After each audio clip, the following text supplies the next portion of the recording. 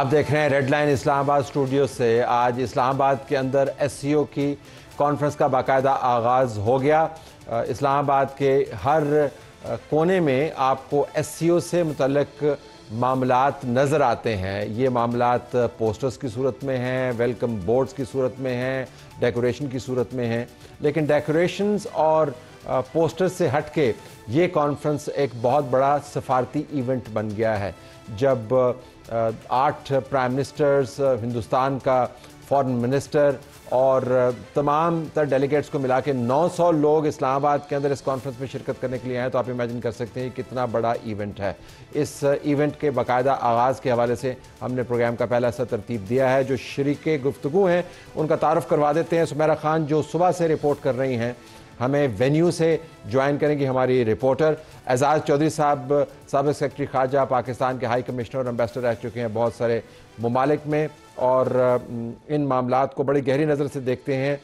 उनका भी बहुत शुक्रिया और हमें चंद्रीगढ़ से, इंडिया से ज्वाइन कर रही हैं ज्योति मल्होत्रा। वो यहाँ पर आना चाह रही थी, लेकिन उनका मामला ये हुआ कि शायद वीज़ा उनका प्रोसेस नहीं हो पाया। तो तीनों का बहुत शुक्रिया। बात का आगाज़ करने से पहले आपको ये भी बता दें कि पाकिस्तान के अंदर सिर्फ़ एस सी ओ कॉन्फ्रेंस के हवाले से खबर नहीं बन रही। एक खबर ये भी है कि एक मुबैना ज़्यादती का केस है, किसी तलबा का नाम जिसका नाम किसी को पता नहीं है, जिसकी शक्ल का किसी को पता नहीं है, जिसके रिश्तेदारों का किसी को पता नहीं है, उसके हवाले से एक हिजान बरपा है।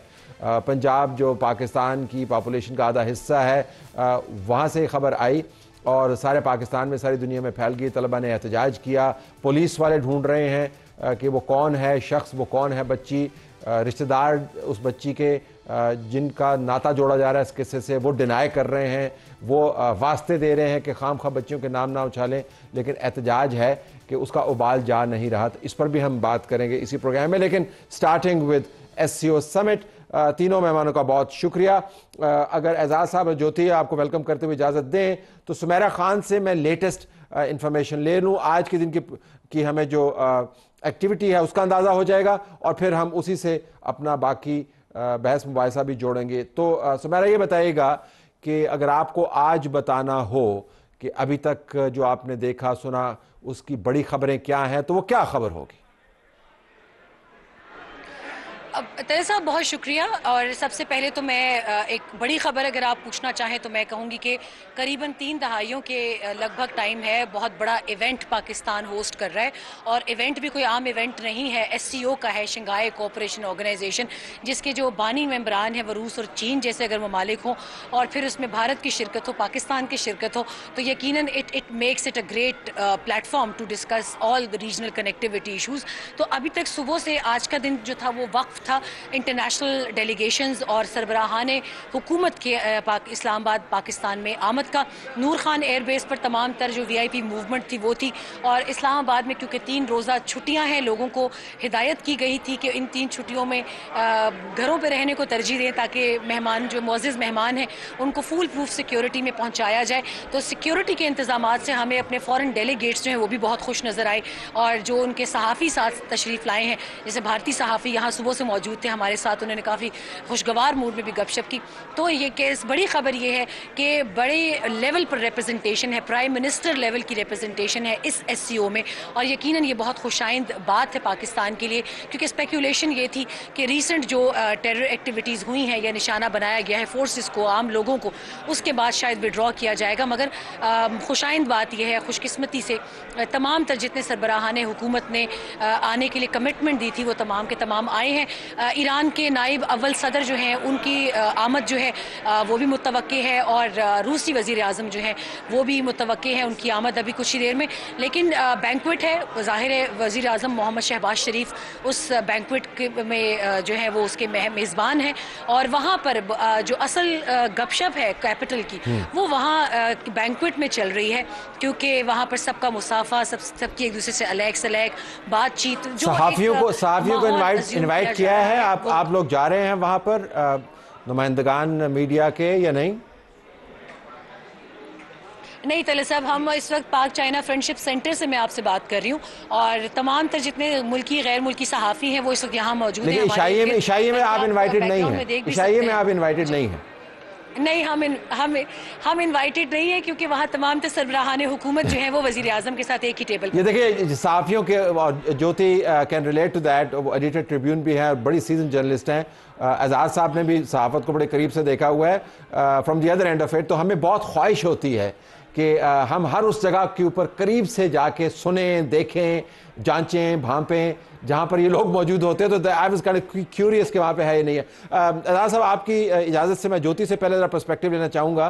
ज्योति, जहाँ पर आप मौजूद हैं I wish you here sorry your visa could not be process in time ये बताइएगा कि आपको वहाँ से ये समिट और इसकी जो गहमा गहमी है वो पाकिस्तान में तो बहुत महसूस हम कर रहे हैं। आपको वहाँ से बैठ के ये समिट कैसा लगता है? देखिए समिट की जो स्टोरीज हैं, वो हमारे अखबारों के फ्रंट पेजेस पे ज़रूर छप रही हैं। लेकिन मैं ये भी कहूँगी कि और बहुत सारे जर्नलिस्टों को वीज़ा भी दिया गया है। तलत ऐसा नहीं है कि लोगों को नहीं दिया गया वीज़ा और बहुत सालों के बाद जो है इंडियन जर्नलिस्ट पाकिस्तान आ रहे हैं। और काश मैं भी उसमें शामिल होती, उस डेलीगेशन में। लेकिन चलिए, अगली दफ़ा। लेकिन मैं ये भी कहना चाहूँगी कि क्योंकि भारत के जो फॉरेन मिनिस्टर हैं मिस्टर जयशंकर उन्होंने भी ये कहा है और पाकिस्तान की तरफ़ से भी शायद जब बिलावल भुट्टो फॉरेन मिनिस्टर थे, आपको याद होगा गोवा में दो साल पहले जब इसी शंघाई कोऑपरेशन ऑर्गेनाइजेशन की मीटिंग हुई थी, तब भी कोई बायलैटरल बातचीत नहीं हुई थी। तो इसको लेकर, इसको सामने रखते हुए कि बिल्कुल एक ये मल्टीलैटरल फॉर्मेट है और इसमें हम कोई बायलैटरल बातचीत नहीं करेंगे। इसको सामने रखते हुए अगर ये सच होगा तो मुझे लगता है कि this will be an opportunity that will be missed on both sides तो देखिए पूरी दुनिया जो है इतना आगे बढ़ रही है और हम ही भारत पाकिस्तान के लोग हमारी जो आवाम है हम एक दूसरे से और भी दूर होते जा रहे हैं जबकि हमको मुझे लगता है कि करीब होना चाहिए। ठीक है। हम मैं ये भी नहीं कहती कि हमको एक दूसरे के साथ कोई प्यार मोहब्बत जप्पी की जप्पी शप्पी हो लेकिन we should be normal countries जो हम नहीं है। हाँ तो मैं आपसे इतफाक करूँगा हमने तो हमेशा ये ये माना है ज्योति कथा कलामी हमने तो हमेशा ये माना है कि अगर आपने दुश्मनी भी करनी है तो दुश्मनी की भी तहजीब है लड़ाई भी करनी है तो लड़ाई की भी तहजीब है और ये कोई ज़ाती लड़ाई तो है नहीं ममालिक के दरमियान टेंशन चलती है ले, लेकिन टेंशन के बराबर में दरवाजे खिड़कियाँ खुले रखते हैं वहाँ से बातचीत भी बड़ी चलती है। और इंडिया चाइना एक एग्ज़ाम्पल है चाइना अमरीका एक एग्ज़ाम्पल है तो हमें शायद सीखना चाहिए लेकिन you make a very important point let me go तो आज़ाद साहब ऑन दिस आज़ाद चौधरी साहब आप ये बताइएगा आपने ये तमाम मामला को करीब से देखा है। You had have had a ringside view of many of the summits तो uh, ज्योति की बात को उठाते हुए पाकिस्तान भारत के जाविये से बहुत सारी जगहों पर बायलैटरल हो रहा है पाकिस्तान और दूसरे ममालिक का। चीन being a case in point Russian foreign minister prime minister being a case in point तो ये हम कितनी देर तक मौखर कर पाएँगे? या आप समझते हैं कि इससे कोई मुन्ने मुन्ने जो है ना स्टेप्स लिए जा सकते हैं कि अब वो यहाँ पर आ गए हैं उन्होंने एब्सेंस के ज़रिए अपनी नाराज़गी, नाखुशगवारी का इजहार नहीं किया। He is here now so आपको लगता है कि this can you know perhaps create a little base for building bilateralism और reviving bilateralism with India ji. मेरे ख्याल में ये तो बड़ा अच्छा उन्होंने किया कि वो तो शरीफ लाए। अगर वो ना लाते तो पहले ही दूरियाँ हैं और ज़्यादा गहरी हो जाती। लेकिन उस लिहाज से तो ये एक खुश आइंद कदम है कि वो आए। लेकिन, वो पहले से आने से पहले उन्होंने ऐलान कर दिया था कि ये मैं मल्टीलेटरल मीटिंग के लिए जा रहा हूँ, वहाँ पे बायोलेटरल मीटिंग नहीं होगी। क्योंकि उनकी हुकूमत की इस वक्त ये पॉलिसी यही है। भारत सरकार की यही पॉलिसी है कि पाकिस्तान से कोई रबता नहीं रखना। ये 2016 से चल रहा है कि कोई किसी किस्म का रबता नहीं होगा। तो अभी पॉलिसी वही चल रही है, लेकिन मैं ज़िंदगी भर ये देखा है कि ऐसे मौक़ों पर सबसे ज़्यादा कारामद जो काम होता है वो हाशिए पे, यानी साइड लाइन्स पे मीटिंग्स होती हैं। तो हो जाती तो बहुत ही अच्छा होता, अगर ये ज़रा सा भी सिग्नल देते, पाकिस्तान की हुकूमत तो तैयार है, क्योंकि मेरे ख्याल में पाकिस्तान में ये जानकारी है कि हमसायों के साथ ताल्लुक ठीक होने चाहिए। बहुत हो गया। हमने भी बहुत सफ़र किया, हिंदुस्तान ने भी, अफ़गानिस्तान ने में भी। ये सिलसिला ख़त्म होना चाहिए, बंद होना चाहिए। और पाकिस्तान तो शायद तैयार है, लेकिन अभी मुझे लगता नहीं है कि भारत सरकार अभी तैयार है। सवेरा अभी ज़िक्र हो रहा था कि किसने किसको रिसीव किया तो मैं लिस्ट देख रहा था। और वो लिस्ट आपने ही प्रोवाइड की तो हिंदुस्तान के फॉरेन मिनिस्टर को फॉरेन ऑफ़िस के डीजी साउथ एशिया जिन्होंने रिसीव किया है, किसने रिसीव किया है? जी बिल्कुल। भारत के जो वज़ीर खारजा हैं सुब्रमण्यम जयशंकर जब वो तशरीफ़ लाए हैं तकरीबन साढ़े तीन बजे के करीब शाम में तो उनको नूर खान एयरबेस पे वजारत खारजा के डायरेक्टर जनरल बरए जनूबी एशियाई उमूर हैं इलियास महमूद निज़ामी। उन्होंने उनका खैर मकदम किया। एम एम ग्लैड कि आपने सवाल पूछा क्योंकि उसके बाद से मुसलसल हती कि मेरे रिश्तेदारों में से भी जिन्होंने वो विजुअल्स देखे उन्होंने भी कॉल करके पूछा है मैसेज करके पूछा कि इनको वज़ी अजम ने क्यों नहीं रिसीव किया या वज़ी खारजा ने क्यों नहीं किया? तो आपके प्रोग्राम के तवसत से थोड़ा सा डिप्लोमेटिक चीज़ें शायद बताने की कोशिश करेंगे कि जब वज़ीर खारजा बिलावल भुट्टो जरदारी भी गुजशत बरस हम उनके साथ ही भारत गए थे तो उधर भी रेसिप्रोसिटी में यही था। जब उन्होंने ऐलान किया तो उनको भी वहाँ के मिनिस्ट्री ऑफ़ एक्सटर्नल अफेयर्स के हुकाम ने रिसीव किया था, जो कंसर्न एक डेस्क के लोग होते हैं, जो जनूबी एशियाई उमूर देखते हैं, उनको उन्होंने रिसीव किया था। यहाँ क्लियर करते चलें कि जो जो, जिस जिस मुल्क के वज़ीर अजम तशरीफ़ लाए, उनको वफाकी वजरा ने according to diplomatic S O Ps या प्रोटोकॉल के उनको उसी हिसाब से कैबिनेट के मेंबर्स ने रिसीव किया। ठीक है। ज्योति के पास दो सवाल ले जाने दीजिए। एक एजाज साहब ने ज़िक्र किया ज्योति के हाशिए के ऊपर। मुलाकातें जो हैं गैर रस्मी मुलाकातें जो हैं गैर रस्मी इंगेजमेंट जो है, उससे आप पुराने जो मुद्दे हैं और जो आप समझे कोल्ड वॉर वाली सिचुएशन है, उसको आप फ्रीज कर सकते डी फ्रीज कर सकते हैं। एक तो ये आप क्या समझती हैं कि वाक़ता डेढ़ सवा दो दिन के अंदर या पौने दो दिन के अंदर हाशिए पर कोई ऐसी बातचीत हो सकती है? क्योंकि हमने माजी में देखा कि डिक्लेयर्ड पॉलिसी के होते हुए हमने बैकडोर डिप्लोमेसी भी देखी है। और फिर बाद में जाके पता चलता है, चार साल के बाद कि भैया कौन किससे मिल रहा था, दुबई में क्या मीटिंग्स हो रही थी, कहाँ पे क्या मीटिंग्स हो रही थी। लेकिन फ़िलहाल डिक्लेयर्ड पॉलिसी तो बड़ी स्टिफ है। वो कह रहे हैं जी कि बायलैटरल नहीं है, हम कह रहे हैं जी कि डीजी साउथ एशिया ही जाके रिसीव करेगा। देखिए, ये बहुत छोटी छोटी बातें कोई फ़र्क नहीं पड़ता डीजी साउथ एशिया जाए या ठीक है, अगर प्राइम मिनिस्टर जाए आपका तो खैर वो तो बहुत बड़ी बात है। लेकिन मुझे लगता है कि देखिए, गलत। मैं और आप, हम एक दूसरे को 20-25 सालों से जानते हैं, हमारे बाल भी सारे सफ़ेद हो गए हैं। सवाल ये है कि भारत और पाकिस्तान की आवाम क्या चाहती है? मैं सिर्फ़ ये कहूँगी कि suppose somebody should break the lock jam अब भारत नहीं कर रहा है तो क्या पाकिस्तान कर सकता है कि नहीं कर सकता? आपको याद होगा, चौदह में 2014 में जब प्राइम मिनिस्टर मोदी पहली दफ़ा चुन के आए थे तो प्राइम मिनिस्टर नवाज़ शरीफ उस वक्त हिंदुस्तान आए थे, बहुत हिम्मत करके, क्योंकि आपके यहाँ उस वक्त जो आपकी डोमेस्टिक पॉलिटिक्स थी, उसमें ये कहा जा रहा था कि उनको नहीं जाना चाहिए। But he made a courageous move और उन्होंने कहा, नहीं, ये हमारे पड़ोसी हैं और जाना चाहिए। सिमिलरली जब प्राइम मिनिस्टर मोदी नवाज़ शरीफ की ग्रैंड डॉटर उनकी जो है, पोती की शादी पे आए थे। अब देखिए this is what constitutes neighbourhood relations कि मैं आपके घर जाऊँ, आप हमारे घर आए। अब मेरी बेटी की शादी होने वाली है मार्च में तलत उस जिसमें आपको आना है, क्या आपको वीज़ा मिलेगा, मुझे नहीं पता। तो मैं ये कह रही हूँ कि अगर प्राइम मिनिस्टर नवाज़ शहबाज शरीफ दिवाली आने वाली है इकतीस तारीख को इकतीस अक्टूबर को, क्या वो फ़ोन उठा के कह सकते हैं प्राइम मिनिस्टर मोदी, मैं आपके घर आ रहा हूँ दिवाली के दिन, और लाहौर की मिठाई, जो सबसे मशहूर दुकान है मिठाई की, मैं आपके यहाँ आ रहा हूँ मिठाई लेके। ले तो क्या ये कुछ out of the box type कुछ इस तरीके का कुछ हो सकता है कि नहीं? बस मैं यही आप सबसे ये कहना चाहूँगी ये। और बाय द वे ये मेरा ओरिजिनल सजेशन नहीं है जो हम इस जी इस जी जी मैं मैं ये मैं मैं बल्कि ये कहने तो लगा जुमला उचकने लगा था बीच में कि ये जो बाल सफ़ेद की आपने बात की एक तो मेरे दिल में जाके लगी बहुत ज़ोर से। दूसरा दूसरा ये दूसरा ये कि ये ये बाल सफ़ेद हमने ये सुन सुन कर भी किए हैं कि out of the box out of the box out of the box doesn't arrive the box doesn't even open so let me go तो आज़ाद चौधरी साहब आज़ाद साहब, ये जो है, ये बिग टिकट इनिशिएटिव की बात कर रही हैं। और माजी में हमने देखा बिग टिकट इनिशिएटिव्स लिए गए। ज़रा दोनों ममालिक की सूरत हाल के पेश नज़र आप बताइएगा कि कहाँ पर गुंजाइश ज़्यादा है इनिशिएटिव इस किस्म का लेने की, क्योंकि ज़रूरत तो है। दोनों तरफ़ ज़रूरत है। वो तो हमने एक्नॉलेज कर लिया। गुंजाइश कहाँ पर है? मेरे ख्याल में एक ऑथराइज बैक चैनल होना चाहिए, जिसका पहले पता हो।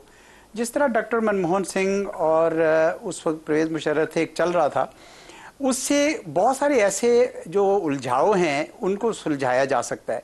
अब तो इस वक्त एक पोजीशन लिए रखी है सरकार, पाकिस्तान ने, कि भाई कश्मीर के मसले को आप यानी उलझा रहे हैं, उसको सुलझाएँ और ठीक तरह से चलें आगे।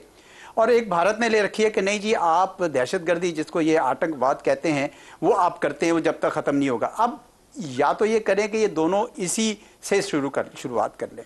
लेकिन मामला तो ख़राब होता जा रहा है, ना सिर्फ़ यह है कि जब आपकी बातचीत बंद हो जाती है, और भी कई महाज खुल जाते हैं। जिस तरह अभी आजकल इंडस वाटर ट्रीटी का महाज खुल गया है, उसमें भी हिंदुस्तान ने नोटिस दिया है कि भाई ये तो हम ट्रीटी को रिव्यू करें, रिवाइज करें, नया बनाएँ वरना ये जो है वो शायद एक तरफा तौर पर शायद कुछ वो कदम उठा लें।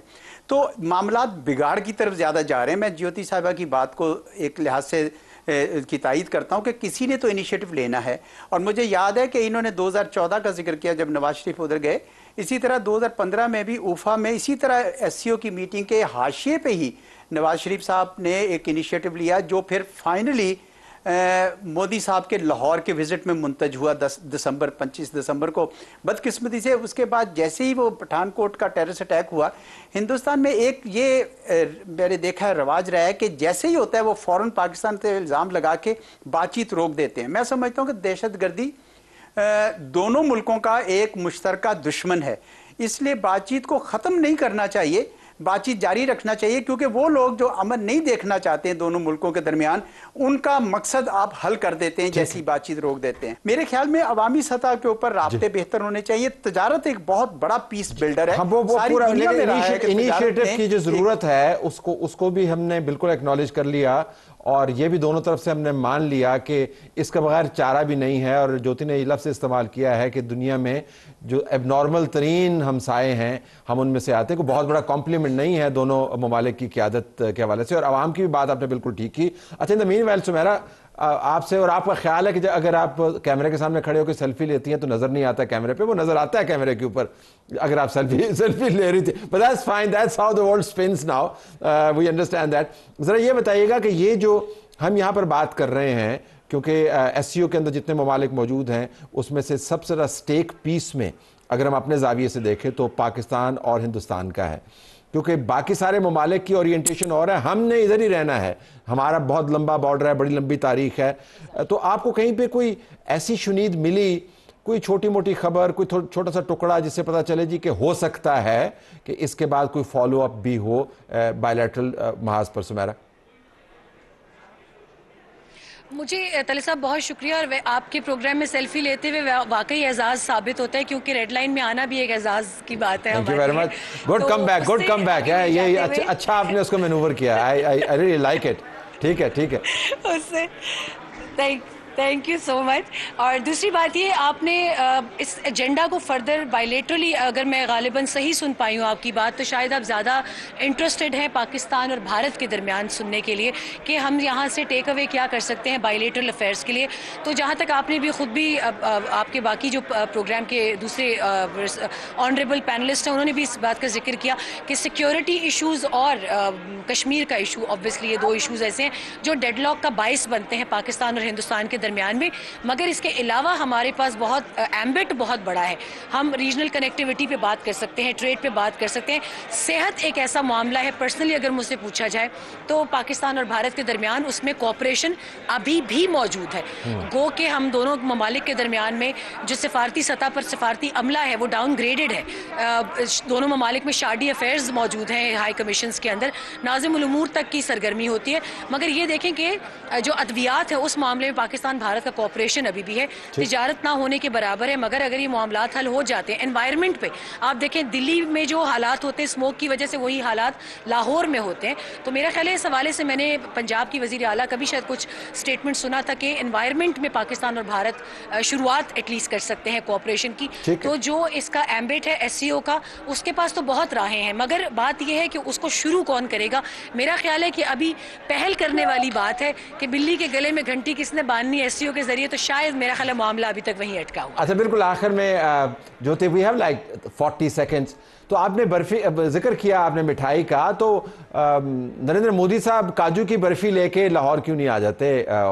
तो बर्फ़ी तो वहाँ भी बड़ी अच्छी बनती है। तो क्या you think he has the space to do this नहीं देखिए तलत स्पेस वाली बात तो मेरे ख्याल आपके यहाँ ये सवाल तो आपको अपने आप अपने को पूछना चाहिए क्योंकि स्पेस तो आपके यहाँ नहीं होती ना तो स्पेस वाली जो बात होती है देखिए I mean I don't want to be सिर्फ़ यू नो तो No, no, be, be, be whatever you want to be. बिल्कुल करेक्ट करें. Put it out on the table. Put it out. What I'm saying is कि initiative जो है. I know, I know, I can be whatever. नहीं नहीं बिल्कुल बिल्कुल तो वो हिंदुस्तान की तरफ़ से नहीं होगा वो होगा पाकिस्तान हाँ देखिए मैं ये कह रही हूँ कि एक जो देखिए आतंकवाद या जो भी आप इसको कहने दहशत कर दी जो भी इसका जिस जो भी नाम इसको आप दे दें ये हो तो रहा है ना? और दूसरी तरफ़ जैसे एजाज साहब ने कहा कि 2021 में लाइन ऑफ़ कंट्रोल पे जो जब वो उसका जो पीस जो है उसको रिन्यू किया गया था वो भी हुआ था। तो ऐसा भी नहीं है कि भारत पाकिस्तान के जो लीडर्स हैं वो एक दूसरे को जानते नहीं है या उनको ये नहीं पता कि किस बातों पे बातें करनी है। अब जब जहाँ पे ट्रेड की बात है जब इमरान खान प्राइम मिनिस्टर थे उस वक्त भी आपके कैबिनेट में जो बायोलैटरल ट्रेड वाली बात है वो पास हो गई थी। फिर जब वो इमरान खान के पास आई वहाँ पे नहीं पास हुई। अब ये जो दिक्कतें हैं हम सबके पास सबके साथ कोई कुछ पर्सनल कुछ बायोलैटरल इसको अब आप हम लोग इसको रिजॉल्व करते करते जो है अब दस साल तो बीत गए हैं। अब और कितने सालों की का, लेकिन मैं सिर्फ़ ये कह रहा हूँ ज्योति साहबा कि मामला सिर्फ़ आतंकवादियों के नहीं हैं। अब तो कनाडा के वज़ीर आज़म ने भी ये कहना शुरू कर दिया है कि आपकी हुकूमत से मुंसलिक जो ग्रुप्स हैं वो उनकी सरजमीन पर असैसिनेशन कर रहे हैं। तो मेरे ख्याल में ये गंगा दोनों तरफ़ बह रही है। ये गंगा दोनों तरफ़ बह रही है। कनाडा कनाडा वाले पे हम एक अलग एक अलग शो करना चाहिए हमको कनाडा मैं तो बिल्कुल मुझे बड़ी दिलचस्पी है कनाडा के ऊपर शो करने में। But thank you very much all three of you for for a wonderful debate for being with us नाजीन हमारा प्रोग्राम जारी है स्टे ट्यून्ड फॉर दैट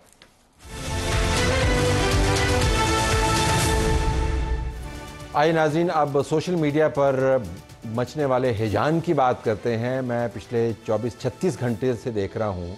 कि एक मुबैना ज़्यादती के केस का हवाला दिया जा रहा है और उसमें कॉलेज की बच्ची का ज़िक्र है बच्ची का नाम किसी को पता नहीं है आ, उसका ख़ानदान का किसी को पता नहीं है मुख्तलफ़ हवालों से इशारे कनाइयों से बातें की जा रही हैं तलबा एहतजाज कर रहे हैं हर तरफ़ खबरें बन रही हैं मीडिया के ऊपर पाकिस्तान तरीक इंसाफ के जो ट्रोल्स हैं उन्होंने ये कहना शुरू कर दिया जी कि इसके ऊपर तो पर्दा डाला जा रहा है, उसको सियासी एंगल दिया जा रहा है। तो इस मामले की तय तक पहुँचते हैं, तमाम जावियों से भी इसके ऊपर बात करते हैं। हमारे पास मौजूद हैं अजमा बुखारी साहबा वजी इतलात नशियात पंजाब, उनका शुक्रिया। जहांगीर खान साहब हमारे अपने नुमाइंदा न्यूज़ समा के, जो हमें ब्रीफ करेंगे और बताएँगे कि उनकी ख़बरें क्या हैं। और प्रोग्राम के बिल्कुल आखिर में हम ए एस पी साहिबा से भी बात करेंगे। लेकिन स्टार्टिंग में जो अजमा साहिबा अब हम ज़रा फैक्ट्स की बात कर लेते हैं। आप चूँकि ख़ुद फेक न्यूज़ और ट्रोलिंग और जो दो नंबर मटेरियल है, उसकी विक्टम हैं, आपका केस अदालत में चल रहा है। तो लिहाजा ये फैक्ट्स जो है ना, हमें सीधे तरीके से बताने हैं। नंबर एक सवाल मेरा ये आपसे, क्या ऐसा कोई केस हुआ या नहीं हुआ? बहुत शुक्रिया तलक साहब, अभी तक जब मैं आपसे बात कर रही हूँ तो ये सोशल मीडिया की पोस्ट तक ये वाक्य हुआ है। लेकिन ग्राउंड पर किसी तरह पर किसी शवाहिद के नतीजे में किसी तरह भी कोई वाक्य जो है वो ना किसी अस्पताल में रिपोर्ट हुआ है ना किसी पुलिस स्टेशन पर रिपोर्ट हुआ है ना किसी बच्ची ने सामने आकर या उसके पेरेंट्स ने जो है वो किसी भी तरह इसको रिपोर्ट किया है। बच्चियों को ये भी मैं समझती हूँ कि इस वाक्य के ऊपर अगर बच्ची कोई मुतासरा होती तो उसकी आइडेंटिटी को मुकम्मल तौर पर सीगा में रा, राज में रखकर भी इसमें प्रोसीड किया जा सकता था, लेकिन प्रॉब्लम यह है कि अगर वालदेन जो है, वो खुद रो रो के कह रहे हैं कि जी हमारी जान छोड़ दे, हमारे साथ ये क्यों कर रहे हैं, मेरी बच्ची जो है। बिला तामुल, आप ये फरमा रही हैं कि इस किस्म का कोई वाक्य ना रिपोर्ट हुआ है, ना उसके शवाहद रिकॉर्ड किए गए हैं, ना किसी तरफ़ से, किसी रिश्तेदार की तरफ़ से कोई इसकी एफआईआर है, ना विक्टिम अवेलेबल है। तो ये ये तो समरी होगी। अच्छा आप ये बताइएगा दूसरा बड़ा बुनियादी सा सवाल है वजाहत के लिए कि जिनका नाम लिया जा रहा है इशारे कनाइयों से कि वो बच्ची है वो बच्ची है आ, उनके किसी रिश्तेदार ने इस किस्म के किसी वाक़े की भिनक भी डाली आपके कान में या कहीं पर कहा जी कि कुछ हुआ है लेकिन हम रिपोर्ट नहीं करना चाहते या वो तमाम लोग इसको डिनाई कर रहे हैं? जी एक बच्ची का नाम इस्तेमाल हुआ उस नाम की तीन बच्चियाँ जो हैं वो हमने ट्रेस की। और उन तीनों बच्चियों के जो वालदेन हैं जो तीनों बच्चियाँ हैं उन बच्चियाँ हैं उनसे रबता किया गया। उन तीनों में से उस नाम की एक ही बच्ची आईसीयू में दाखिल है जिसके वालदेन जो है अब वीडियो बयान भी अपना जारी हम ये करना नहीं चाहते थे। आ, लेकिन आ, उस वालिद को जो है वो भी सामने आना पड़ा और आके कहना पड़ा कि उसकी बच्ची के साथ जो है वो सीढ़ियों से गिरने से एक वाक्य हुआ है। और बकायदा उसकी मेडिकेशन मौजूद है और वो वही मेडिकेशन है जो किसी को आ, किसी चोट के बाद दी जाती है। मेरा सवाल यह है कि इस रेप के वाक्य के अंदर एक विक्टम का, जिसका मेडिकल होना है, जिस जिस बच्ची का सामने आना ज़रूरी है स्टेट क्या करे कि अगर उनके वालदेन जो है वो बाकायदा डॉक्यूमेंटेशन के साथ दिखा रहे हैं वो बच्ची सामने अवेलेबल है वो रो रही है वो ये रही है ये ये, अन, ये अनफॉर्चुनेट है ये ये, ये बहुत अनफॉर्चुनेट है कि जब आप बच्ची को बदनाम कर रहे हैं। आप आप जब मासूम बच्चियों और बच्चों और उनके वालदेन और उनके रिश्तेदारों को इस पोजीशन पे ले आते हैं कि बावजूद कुछ ना होने के वो वजाहतें देते फिर रहे हैं। But let me bring in my reporter है जहांगीर खान साहब। जहांगीर खान साहब, आपने अजमा साहबा की बात सुनी। व्यूअर्स में से बाज़ लोग ये कह सकते हैं कि हुकूमत वक्त की नुमाइंदा हैं। वो तो ज़ाहिर है यही पॉइंट ऑफ़ व्यू देंगी। आप चूँकि स्टोरी को बहुत करीब से फॉलो कर रहे हैं, मैं ज़रा आपका व्यू भी इसके ऊपर लेना चाहूँगा कि जो उजमा साहब ने फरमाया वो और जो आपकी अपनी मालूम हैं इनमें कहीं पर आपको अदम मुताबकत नज़र आती है। कुछ ऐसे सवाल हैं जो जिनका जवाब आपके पास भी नहीं है। गो है जी, बताइए। बिस्मिल्लाहिर्रहमानिर्रहीम। तलत साहब 11 अक्टूबर को सोशल मीडिया पर तालबा के साथ मुबैना ज़्यादा का ये गैर मुसदा वाक़ सबसे पहले रिपोर्ट होना शुरू हुआ। कुछ ऐसी पोस्ट जो है वो इंस्टाग्राम पर और टिकटॉक पर आ, सामने आई जिनमें ये इल्ज़ाम आयद किया गया कि कॉलेज के बेसमेंट में ले जाकर सिक्योरिटी गार्ड ने तालबा को मुबैना ज़्यादती का निशाना बनाया है जिसके बाद गुजशत रोज़ एक बड़ी तादाद ने कैंपस पर धावा बोला तोड़ फोड़ की जलाओ घेराव किया सी सी टी वी कैमरास को नुकसान पहुँचाया गया और उसके बाद फिर पुलिस ने प्रेस कॉन्फ्रेंस भी की। लेकिन अभी तक कोई ऐसा फ़िज़िकल एविडेंस या डिजिटल एविडेंस जो है, वो पुलिस को नहीं मिल सका, जिससे ये साबित हो सके कि वाकई तालबा को मुबैना तौर पर जिनसी ज्यादती का निशाना बनाया गया है। ना ही कोई विक्टम अभी तक सामने आया है। गुजशत रोज़ जब तलबा की जानब से बड़ा पुरतशद एहतजाज किया जा रहा था तो उस वक्त ज़ाती तौर पर भी हमने बहुत से तलबा से ये पूछने की कोशिश की कि कोई तालब इलम ऐसा हो, कोई खातून, कोई लड़की जो है, वो तालबा ऐसी हो जो उसका मुबैना विक्टम की जो है, वो क्लासमेट हो, उसकी क्लोज फ्रेंड हो, जो कि उसका नाम भी बता सके। तो कोई भी तालब इलम जो कि उस एहतजाज में शरीक था, शामिल था, इस लड़की का नाम बताने से कासिर था। फिर फाइनली एक नाम जो है वो सामने आया, जिस पर पुलिस ने कॉलेज का रिकॉर्ड चेक किया तो तीन तालबात जो है वो इस नाम के सामने आई जिनमें से दो जो है वो रूटीन में अपने कॉलेज में उनकी अटेंडेंस थी जबकि एक तालबा जो है वो एबसेंट थी और उसके वालिद का ये क्लेम है कि इस बच्ची को सीढ़ियों से गिरकर चोट लगी जिस पर उसको अस्पताल मुंतकिल किया गया। लेकिन सीढ़ियों से गिरने का ये वाक्य उसके वालिद के मुताबिक सोशल मीडिया पर चलने वाली इस कैंपेन से भी कुछ दिन पहले का ठीक है। अजमत साहब अगर मैं आपके पास आऊँ मेरा जो कोर सवाल है वो ये है तो फिर इस हैजान को क्या चीज़ एक्सप्लेन करती है कि इसके अंदर तलबा भी इन्वॉल्व हो गए हैं सोशल मीडिया के ऊपर ख़बरें बन रही हैं उस सिफ्त के या उस वसफ़ के, वसफ़ तो खैर उसको नहीं कहना चाहिए, ये वो जो हमारी एक जबिलत है, उससे हट के जिसका आपने ज़िक्र पहले किया कि हम समझते हैं कि हमारे पास ये लाइसेंस है कि हम इस तरह के अल्फाज इस्तेमाल करें। वॉट एक्सप्लेन्स इट ये बहुत गैर मामूली है जिस तरीके से हैजान बर्पा किया गया।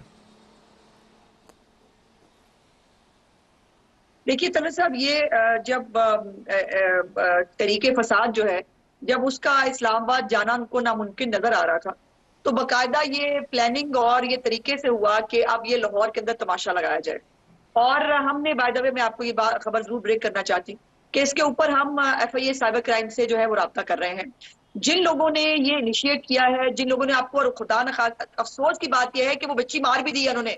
एक बच्ची हम्म। जो है जो प्रोटेस्ट में शामिल थी वो बेहोश हुई गर्मी से धक्कों लगी धक्के लगने से उसकी एक फुटेज आई बेड के ऊपर पड़े हुए के। और उन्होंने कहा ये है वो बच्ची ये है उसकी शक्ल और वो मर गई है। आप अंदाज़ा लगाएँ उस बच्ची को फ़र्स्ट एड मिली और वो अपने घर चली गई। ये आलम है डिस का और आज बाकायदा कल भी बहुत सारे और स्कूलों जगहों से जो है वो बच्चे इकट्ठे किए गए जो एक पॉलिटिकल पार्टी को शायद माइंडसेट रखते हैं उनको वहाँ प्लांट किया गया कि आप सब वहाँ पहुँचे और सोशल मीडिया के ऊपर जो है वो यलगार तो मुजाहिदीन तो निकल ही आए थे। और उसके बाद आज भी चेयर, चेयरिंग क्रॉस के ऊपर या वो जो है वो वहाँ मौजूद थे और आपको पता वहाँ नारे क्या लग रहे हैं? हम लेके रहेंगे आज़ादी। मुझे बताएँ इस पूरे केस में आज़ादी किससे लेनी है इन्होंने? आज़ादी का मतलब क्या है? ये टोटल एक पॉलिटिकली मोटिवेटेड एक घटिया कैंपेन है जिसमें एक बच्ची को एक मासूम बच्ची को उसका नाम उसके घर वालों की इज़्ज़त जो है वो यूज़ की जा रही है उसको बदनाम किया जा रहा है, और अपने गंदे और घिनौने जो आ, वो मकासद है वो इस्तेमाल करने की कोशिश कर रही है। एक पीटीआई की एक रहनुमा है उनकी बहन जो है वो लाहौर में एक टीचर है कहीं पर वो इसके अंदर बहुत पार्ट एंड पार्सल है। तो इंशाल्लाह ताला बहुत चीज़ों के नज़दीक हम पहुँच गए हैं। आपकी तरफ़ से बड़ा बड़े वाज अंदाज से बताया गया कि इसका सयाह को सवाल हमारे रिपोर्टर ने भी इसको इंट्रोड्यूस किया। आप दोनों का बहुत शुक्रिया नाजिन हम अभी इसका एक हिस्सा और जारी करेंगे। जब हम पुलिस का वर्जन इसके अंदर लेके आएँगे और आपको बताएँगे कि असल वाक़ है क्या। अब नाजीन ये जो वाक़ है सोशल मीडिया के ऊपर हैजान का और इसके अंदर इज़्ज़तें भी उछाली जा रही हैं। पुलिस का इसके ऊपर क्या मौक़ है? शहर बानो नकवी साहबा ए एस पी हैं इस मामले को डील करें। मैंने इनकी वीडियो भी देखी जिन्होंने जारी की बयान। शहरबानो साहबा असलकुम सर। ये बताइएगा कि हमने अजमा साहबा से बात कर ली रिपोर्टर से बात कर ली उनके पास तो कोई शवाहद नहीं है। एक बड़ा सवाल ये है कि अगर कुछ हुआ नहीं है तो एक गार्ड है उससे आप फिर क्या इन्वेस्टिगेट कर रहे हैं? इसका क्या जवाब है? अच्छा मिस इन्फॉर्मेशन जब फैलती है तो उसके अंदर ऑब्वियसली इस स्पीड से फैलती है कि लॉ एंड ऑर्डर सिचुएशंस भी बन जाती हैं, जिस तरह के हमने मनाजिर कल देख के वैसे भी सामने आ जाते हैं। तो अगर पुलिस गार्ड को अपनी कस्टडी में ना लेती और उससे क्वेश्चनिंग ना करती या उससे पूछती ना कि क्या हुआ है और क्या नहीं हुआ तो सबसे पहली चीज़ जो सामने आनी थी वो ये थी कि पुलिस इज़ हाइडिंग समथिंग और अगर कोई चीज़ छुपाने वाली नहीं है तो पुलिस ने उसको इन्वेस्टिगेट क्यों नहीं किया और उसे क्यों नहीं लेने गई? एक्सक्यूज मी इस वजह से पुलिस ऑफिसर्स का उसको लाना ज़रूरी था। अभी उसको हम लोगों ने डिटेन नहीं किया हुआ। हम लोगों ने उसे प्रोटेक्टिव कस्टडी में रखा हुआ है उसकी विलिंगनेस के साथ given the law and order situation eventually जो उसका रिड्रेसल मैकेनिज्म होगा वो ये होगा कि हम लोग एक गारंटर अपॉइंट करेंगे जिस तरह नॉर्मल केसेस में भी होता है जिसको हम भी ट्रस्ट करते हो गार्ड भी ट्रस्ट करता हो और उसकी कस्टडी में फिर हम गार्ड को ट्रांसफ़र कर देंगे जी। ठीक है जी। अच्छा एक ये भी सवाल है कि आ, मैं ज़्यादा तहकीकत के मामले में नहीं जाना चाहूँगा लेकिन आ, आपके पास वो फुटेज भी मौजूद है, क्योंकि मैं कॉलेज के रिप्रेजेंटेटिव का बयान सुन रहा था। वो कह रहे थे कि तमाम फुटेज जो है कैंपस की, तमाम कैमरों की, वो पुलिस की तहवील में है। तो ज़रा आपने स्कैन किया होगा, इतना हाई वाक़ है। तो अभी तक तहकीकात आपको क्या बताती? हमारे सामने जब फुटेज को स्क्रूटनाइज किया गया है तो बारहा दफ़ा ये कहा गया है even by the district officer और the district incharge of the of law कि फुटेज के अंदर ऐसी कोई इंसिडेंट सामने नहीं आया है। हाउएवर अगर आपके पास ऐसी कोई फुटेज मौजूद है, आपके पास ऐसे कोई शवाहद मौजूद हैं जो दिखाते हैं विक्टिम या ऐसा कोई इंसिडेंट अनफॉर्चुनेट तो ज़रूर लेके आए। So that we can take the application and start the criminal proceedings अच्छा बिल्कुल आखिर में ये फरमाएगा कि आपके तजर्बे के पेश नज़र इस केस के अभी तक जो शवाहद सामने आए हैं उससे आपको क्या लगता है कि वाक़ता इस किस्म का वाक़ हो सकता है, हुआ होगा, या शवाहद की बुनियाद पर आप इस वक्त क्या कह सकती हैं? क्या स्टेटमेंट जारी कर सकती हैं इस वाक़े के हवाले से? हमने जितना police experience police working experience देखा है, वो ये है कि इस तरह के जो वाकयात होते हैं, वो छुपाए नहीं जा सकते। अभी ऐसे कोई फैक्ट सामने नहीं आए जो कहा जा सके कि रेप जो है, उसका इंसिडेंट और ऐसा हीनस क्राइम कैंपस के ऊपर हुआ है। बहुत शुक्रिया आपने हमें ज्वाइन किया, नाजरीन। शहरबानो नकवी पुलिस का पॉइंट ऑफ़ व्यू आपको बता रही थी कि किस तरीके से तमाम तर ठोक बजा कर तहकीक करने के बावजूद, और अभी तक शवाहद कोई नहीं मिले। अब तहकीक जब मुकम्मल होगी तो हतमी तौर पर हम ये बात कर सकते हैं, लेकिन अभी तक जो शवाहद हैं उनको अगर आप देखें और जो सोशल मीडिया पर हैजान को आप देखें तो आपको वाज अंदाज से उसके अंदर एक सियासी एंगल नज़र आता है, जो बहुत ही अनफॉर्चुनेट बात है। हमारी तरफ़ से यही कुछ इजाज़त चाहते हैं। अल्लाह हाफिज़।